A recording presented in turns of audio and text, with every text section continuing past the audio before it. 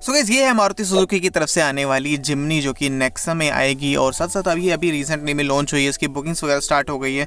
Front में आपको round shaped इसके अंदर प्रोजेक्ट हेडलैम्प देखने को मिलता है। हेडलाइट वॉशर फॉग लैम्प और साथ साथ साइड में देखेंगे तो आपको अलॉयविल्स इसके अंदर फिफ्टीन इंचज़ के आपको देखने को मिलेंगे। दो सौ mm की इस गाड़ी के अंदर ग्राउंड क्लियरेंस मिलेगी, जो कि ऑफ़ के लिए काफ़ी ज़्यादा कैपेबल रहने वाली है। बाकी इसकी पावर विंडोज़ वगैरह के बारे में बात करें, चारों पावर विंडोज़ के अंदर मिल जाएगी। यहाँ पर जो आप देख रहे हैं, ये माउंटेड इसके पावर विंडो के स्विचेस आपको अवेलेबल मिलेंगे।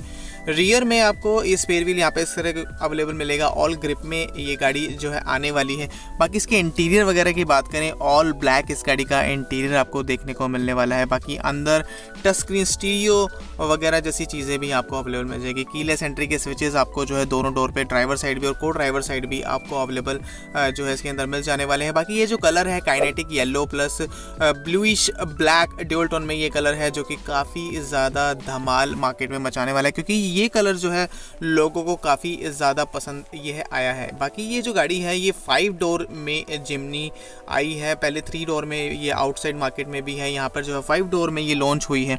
बाकी रियर में और चीज़ों के बारे में बात करें तो यहाँ पर वाइपर वॉशर डीफोगर आपको मिल जाएँगे। बाकी इसके एंटीने की बात करें एंटीना आपको ऊपर की साइड यहाँ पर साइड में अवेलेबल मिल जाने वाला है, जो कि एक नॉर्मल एंटीना आपको इसके अंदर अवेलेबल मिलता है। बाकी किस तरह की आपको ये गाड़ी लगी प्लीज़ मुझे कॉमेंट में ज़रूर बताएँ। अभी बाकी ऑटो ऑटो एक्सपो पे ही है। जैसे ही शोरूम पे आती है, मैं इसका एक पूरा डिटेल वीडियो जो है बनाने वाला हूँ तो उसके लिए अगर आपको वीडियो ये वाली अच्छी लगी तो प्लीज़ वीडियो को लाइक कीजिएगा शेयर कीजिएगा और फ्यूचर में आने वाली वीडियो के चैनल को सब्सक्राइब ज़रूर कर दीजिएगा। Thank you so much for watching this video